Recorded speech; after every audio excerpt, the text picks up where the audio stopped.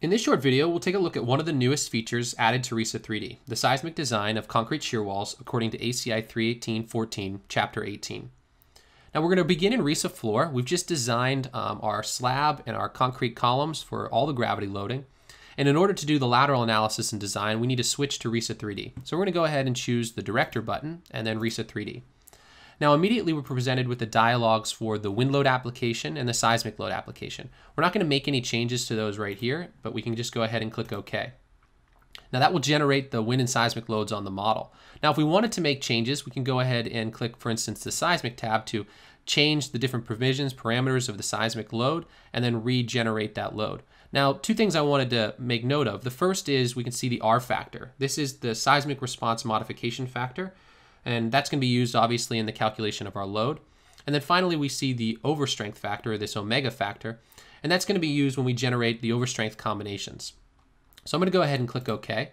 The next thing I'm going to do is I want to enable the diaphragms um, that we created in RISA Floor. These are rigid diaphragms that are going to be used to transfer load throughout the model. Next, we need to establish these walls as seismic walls. Basically, we need to set our seismic design rules. So I'm going to go ahead and choose the seismic design rules spreadsheet from the data entry tab. Now I'm going to go ahead and click on the tab for concrete walls, and we can see here we already have a type of uh, seismic design rule created for walls. Now, in this, we have a specific wall type. So we have three specific wall types. The first is ordinary. This is a wall type in which no extra checks beyond what's required for non-seismic are done. The next is an intermediate precast. This uses the provisions specific to ACI 318.14, section 18.5, and assumes that we're using seismic design category D, E, or F. And finally, the one that we're going to use is the provisions for special structural walls. So this utilizes the provisions specific to ACI 318.14, section 18.10. Additionally, we need to define for special seismic walls, we need to define the diagonal bars that are going to be used for the coupling beam design above the openings. And so in this case, we're just going to set that bar size as a number six bar. Now, in order to then establish our seismic design rules to the walls, we could double click in, on each individual wall and go ahead and set the seismic design rule here from none to whatever the seismic design rule is. Or we can go into the wall panel spreadsheet and into the advanced tab, and we can go ahead and set those seismic design rules right here. Now when we're ready, we've got all the information for the model created properly. We can go ahead and set up our load combinations. So I'm going to go ahead and click on the load combinations button to open the spreadsheet. Now here we already have some gravity and wind load combinations created, but we need to use the load combination generator to create our seismic combinations. So here on the seismic tab, we can see the different region and the different load combination code that we can use. In this case, we're going to use the most recent IBC LRFD strength-based combination set. And so we have some different options for seismic load combinations and overstrength combinations. So I'm going to go ahead and enable the X and Z, the bidirectional combinations, to include the redundancy factor and the vertical component. I'm also going to do the same for the overstrength combinations, and in this case include the vertical component as well as the non-orthogonal combinations. Now when we're ready, we can go ahead and click Generate to generate the rest of the combinations. And so if we look in our combination spreadsheet here, we can see that SDS factor that's used in the vertical uh, component. We can also see the redundancy factor and the omega factor here in the combinations. Now when we're ready, when we have all our combinations generated, we can go ahead and click the Solve Batch and Envelope button to create the analysis and do the design.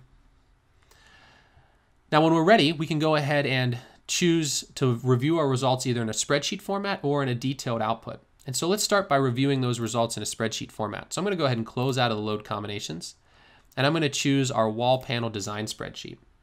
So here we can see just the basic ACI 318.14 design in concrete in and concrete out. But really what we want to pay attention to is we want to pay attention to this wall panel seismic tab. So in this tab, the first thing it does is it identifies those wall panels that we needed to actually run the seismic checks for. So in this case, we didn't need to do it for any of these full wall panels, but instead we needed to do it only for this wall panel that had our door openings in it. And so that's the wall panel two here.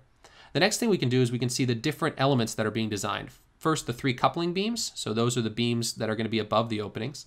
And then finally, the piers.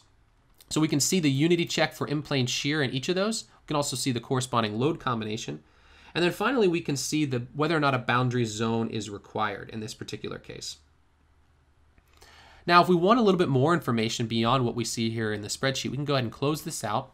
And then I'm going to choose this detail button. And then with that, I'm going to go ahead and select the wall panel itself. So here we initially get our overall wall design. And so what we can see right out is we first have a summary of everything. So we've got all the loads applied, all the other information about this particular wall. We get a graphic here that shows the seismic piers. Now these piers are determined based on table 18.10.1 of ACI 318.14. We can also see the diagonal bars that are created in those coupling beams, and this is because we're using a special seismic shear wall. Now, if we scroll down a little bit more, we can see all our general results. So we can see our different region results, our wall pier and coupling beam results. And then we can see all the different reinforcement that's provided, whether it's vertical or horizontal reinforcement or that diagonal reinforcement in the coupling beams. We can also see the pier reinforcement very specific to the seismic reinforcing piers. So here, that vertical and horizontal reinforcement. Now, if we want to look at things in even more detail, we can switch from a wall view to a pier view. Now, when we look at the pier view, again, we get the, some of the general information but we also get the seismic check information.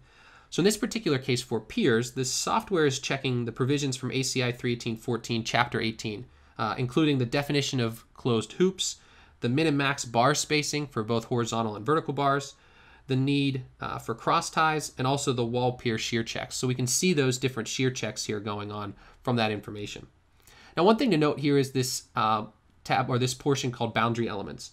For the boundary zones, the program performs a check of the maximum extreme fiber compression stress for the worst case earthquake combination.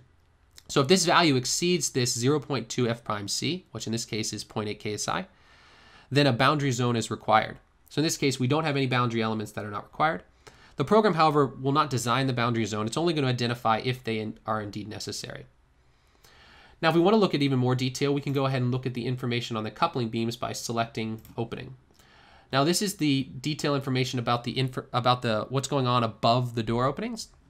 And so here we can see the coupling beam results because we're using a special seismic shear wall. Now there's a few things that are required in order to do the design of these. First, we need bars at each face. And next, we also need to have the outer bars be our horizontal bars. Now, both of these things can be set specifically in our wall design rules spreadsheet. So if we click on our wall design rules spreadsheet, and we go ahead and click on the concrete wall miscellaneous tab, we can see we can set our outer bars to horizontal and our location to each face, as well as other miscellaneous elements um, as far as cover go and, and, other, other things for the, the shear wall analysis. Thanks for taking the time to watch the video. If you have any questions, please contact us at support at risa.com or visit our website, risa.com. Thanks very much.